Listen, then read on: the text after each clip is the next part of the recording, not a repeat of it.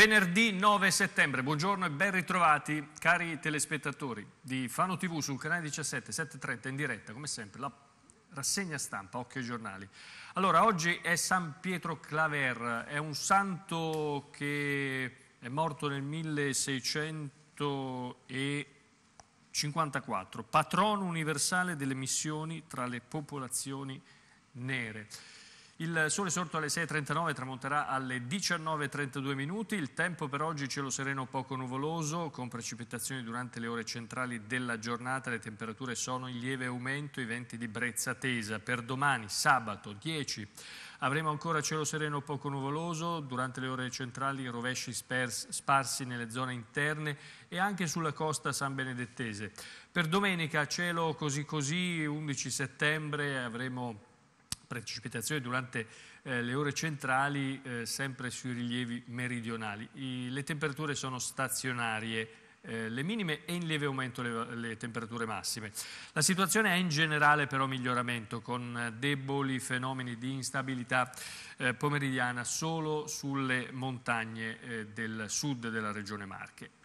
Cominciamo a leggere i giornali. Allora, la pagina principale del Resto del Carlino, la fotonotizia è per il Conte, il titolare dell'albergo eh, dell'Hotel Vittoria, che protesta, protesta per i bagni chimici che, siccome c'è la fiera di San Nicola, a Pesaro gli hanno piazzato praticamente davanti all'albergo e lui protesta. In che modo? Incatenandosi. Il Conte è incatenato, questa è la fotonotizia.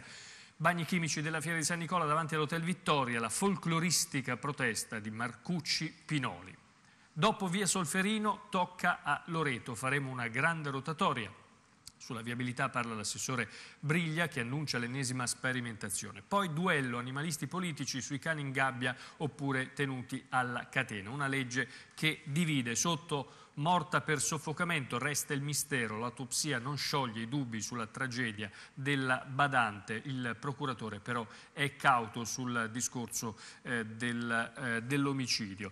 La pagina di Fano invece eh, di questa mattina eh, interviene e pubblica eh, il parere dei commercianti eh, ascoltati eh, dalla giornalista che ha eh, realizzato il servizio sull'Ocean, Ocean che come abbiamo già detto eh, aumenterà, raddoppierà praticamente e il fatto che diventi molto più grande di quello che è adesso turba i commercianti. Bisognava impedirlo, dicono loro, la categoria è in allarme, così il centro storico muore e questa è una, è una uh, tiritera che più o meno uh, sentiamo ogni qualvolta c'è qualche possibilità che venga realizzato uh, qualche centro commerciale, ma mettiamoci l'animo in pace perché insomma di piccoli, grandi centri ne eh, sorgeranno ancora a Fano e se non è a Fano sarà Marotta, se non è Marotta sarà Pesaro, la gente si muove, quindi eh, l'importante è mantenere vivo il centro storico, non preoccuparsi di quello che fanno gli altri. Se una cosa è bella uno ci torna e lo fa anche se di fianco c'ha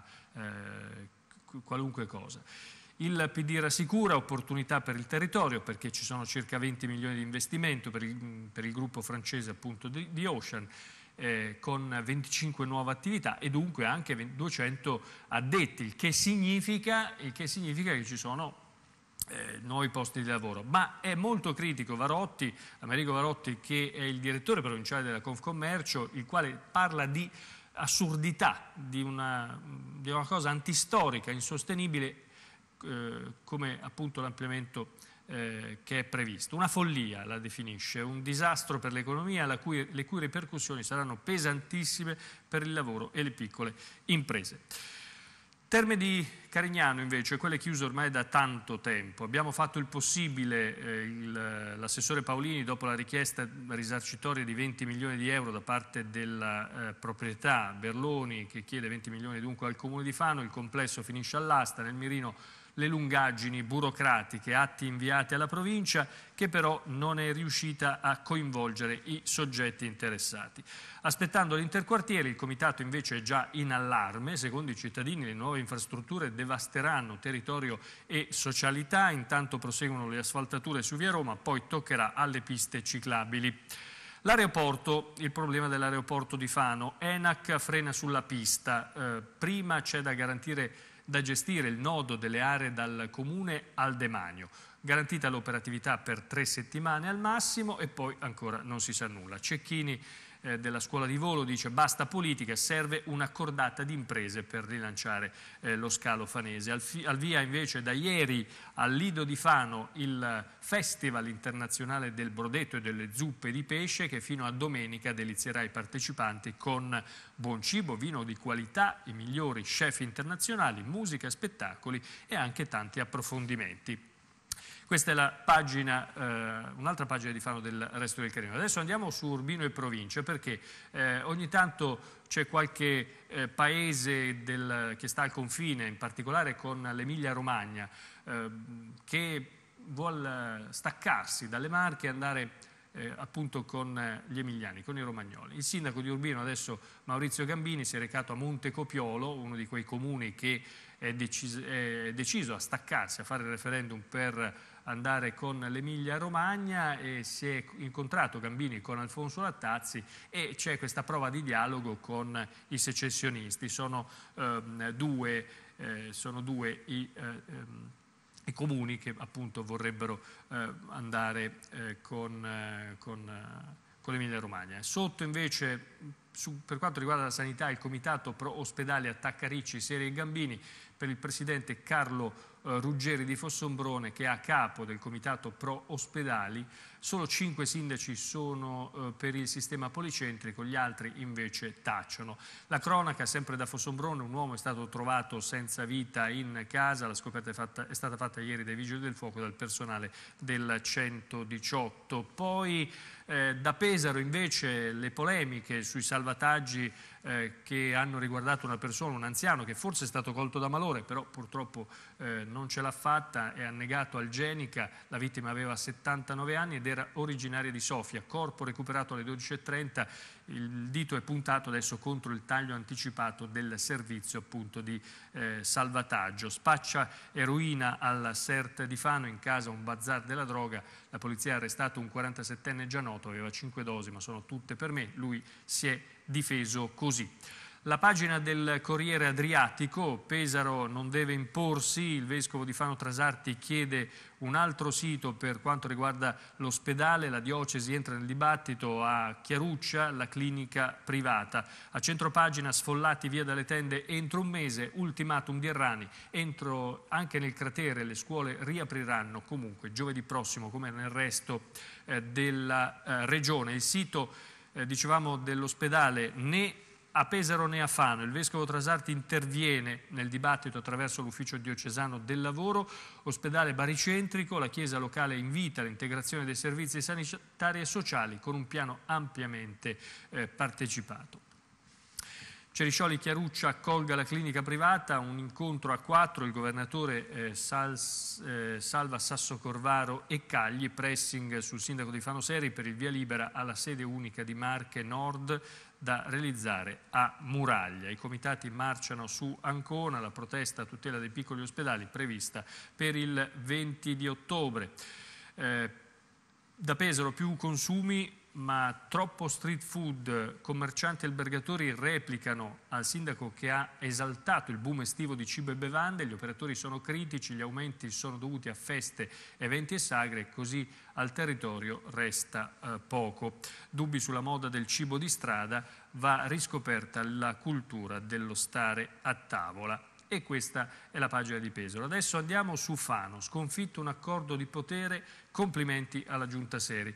E sono i complimenti che arrivano dalla Confcommercio eh, sull'ex zuccherificio e eh, la Confcommercio esulta per la sentenza contro la società Madonna Ponte che è la proprietaria dell'area che vedete qua sotto, un progetto di città, mercato eh, minacciava il centro storico, nuovi strali invece partono contro l'ampliamento dell'Ocean. Smentiti tanti interessati profeti di sventura, Sinistra Unita rivela, rivela, rileva che così si chiude un ciclo politico che è quello chiaramente a cui fa riferimento Sinistra Unita della giunta Aguzzi che eh, si è, eh, ha voluto questo, eh, questo eh, progettato e eh, fatto insomma quello che è stato fatto fino adesso eh, con la società Madonna Ponte, è, è fallita una certa idea eh, di Fano, dicono quelli di sinistra, sinistra Unita.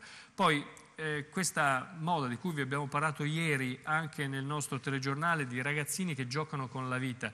Io eh, vorrei un attimo soffermarmi soprattutto per i genitori che ci stanno ascoltando, che magari hanno i figli che, mh, che, che, che vanno eh, di 15-16 anni, più o meno questa è l'età, che escono la sera, ecco magari cercate di capire cosa fanno, cosa non fanno, perché potrebbero essere quelli che giocano con la propria vita e magari voi state a casa a guardare la televisione senza minimamente preoccuparvi. Cosa fanno questi ragazzini? Nelle ore serali, vicino all'aeroporto di Fano, si mettono appostati dietro le siepi, dietro la vegetazione, poi all'improvviso quando vedono i fari di una macchina, per gioco, per sfidare la sorte, per giocare, sbucano dal buio e si parano davanti alle auto. Ok? Avete capito? Eh, a 15-16 anni.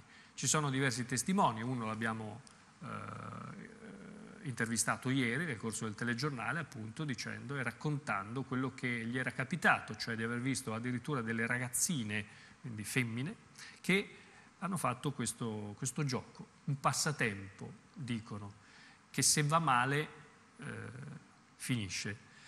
Eh, lanciano anche dei sassi in strada e sbirciano nelle vetture in sosta. E questa è la notizia che eh, riporta il, resto del, il, scusate, il Corriere Adriatico sulla pagina di Fano. C'è una pista invece, attenzione, una pista per la rapina alla tabaccaia di ehm, Ponte Murello, la tabaccheria azzurra. Ieri il Resto del Carlino scriveva che era stato arrestato, eh, che era stato arrestato dando anche dei particolari, era stato il vicino di casa, eh, eccetera, eccetera. In realtà oggi eh, il Corriere Adriatico scrive eh, una notizia un po' diversa. Alcuni sospetti, ma nessun arresto per l'autore della rapina ai danni della tabaccheria a Ponte Morello. I carabinieri hanno eseguito una serie di perquisizioni che hanno interessato persone che abitano nelle vicinanze dell'esercizio commerciale, siamo sulla Flaminia, proprio all'ingresso della città di Lucrezia, e stanno portando avanti delle indagini. Ma eh, per capire chi fosse quell'uomo eh, che non ha pronunciato, proferito parola, chiaramente per non farsi riconoscere, per né accenti e quant'altro, e che è entrato nella tabaccheria martedì pomeriggio, bisognerà ancora aspettare. Ci sono sospetti, ma ancora nessun tipo di arresto. Allora andiamo adesso sulla Valcesano. Pugno duro contro la prostituzione, controlli estesi di notte sulle strade. Il fenomeno che è in arrivo da sud, quindi da Senigallia, Cesano, giù di lì, le forze dell'ordine sono in campo, ci sono multe e anche verifiche fiscali, perché attenzione, allora, che cosa succede? Succede che il sindaco Barbieri, il sindaco di Mondolfo, che quindi eh, ha anche ed è anche sindaco di Marotta, quindi il lungomare dove c'è questo problema, ha emesso questa ordinanza d'urgenza. Si tratta di un'ordinanza che ha breve tempo perché dura eh, credo un mese se non ricordo male e prevede chiaramente dei controlli, ma soprattutto multe, multe a, agli automobilisti che vanno dai 25 ai 500 euro sia per le prostitute che per i clienti. Eh, ma non solo, scatta anche l'agente di polizia che eh, procede ad accertare la violazione dei divieti, dovrà informare anche la Guardia di Finanza e l'Agenzia delle Entrate per avviare gli opportuni accertamenti che si prefigurano reati eh, fiscali. E è un, questa è un'ordinanza che più o meno eh, che più o meno è stata fatta anche in altri comuni, con dei buoni risultati. L'unico problema è che un mese è certamente un po', un po pochino, però eh, intanto bisognerà provare questo mese, vedere gli effetti e poi discutere su tutto il resto.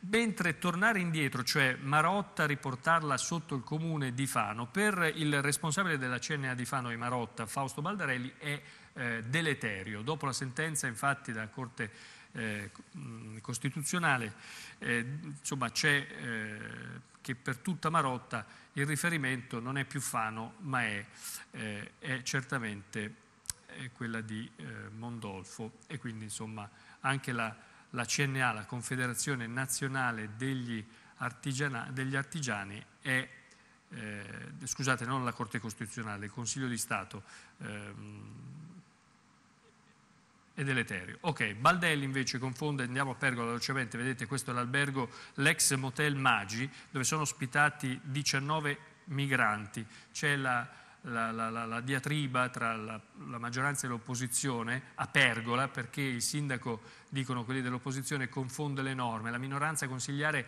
eh, interviene sull'agibilità di questo ex hotel che accoglie questi migranti.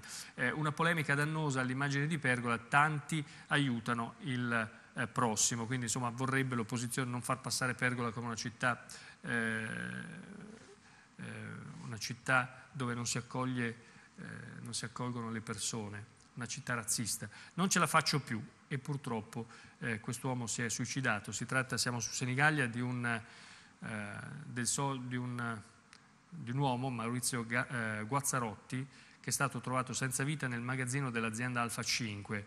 Lo ha trovato un socio, ha lasciato un biglietto per chiedere scusa della sua scelta. Domani mattina ci sarà l'ultimo saluto. E poi eh, la cronaca di Senigallia ehm, pubblica anche la notizia della morte di uno storico barbiere molto conosciuto in città. Eh, oggi al portone ci saranno i funerali. Claudio Belardinelli, il barbiere da tutti conosciuto come Baffino.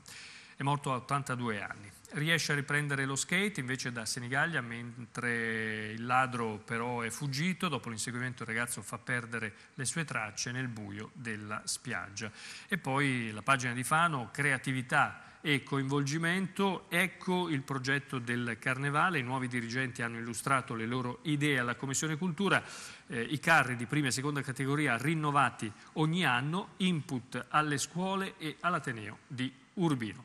E eh, questa è la notizia principale eh, del, del, Corriere Adriatico di Fano, mentre dicevamo mh, del, dell'annegamento che c'è stato eh, sulla spiaggia in, al mare a Pesaro, un anziano turista russo che è stato colto da malore in tarda mattinata mentre stava nuotando e annegato davanti alla famiglia, nulla è valso l'intervento dei bagnini e del 118 con la collaborazione eh, di tutti i bagnanti. L'uomo era in vacanza con figli e nipoti, i medici hanno provato fino alla fine a rianimarlo ma non ci sono riusciti. Poi l'incidente di ieri mattina alla rotatoria di Colombarone, guardate qua, gli è andata bene, eh, probabilmente alla, alla, all'automobilista che è rimasto eh, schiacciato dal pesante mezzo dal tir, schianto alla rotatoria, un camion che travolge un'auto, pauroso scontro ieri mattina appunto a eh, Colombarone. Il primo punto invece per il Fano che eh, ieri nell'anticipo delle 16.30 ha, eh, ha pareggiato contro l'Albino Leffe, il risultato 1-1 ieri a Bergamo, prezioso pareggio nell'anticipo appunto